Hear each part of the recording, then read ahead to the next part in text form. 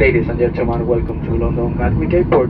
Please remain seated with your seatbelt fastened and leave the aisle clear from all luggage until the aircraft has come to a complete stop and the fasten seatbelt sign has been switched off. Please be careful when opening the overhead lockers since items may have moved during the flight. And remember to take all your personal belongings with you. We would like to inform you that smoking is not permitted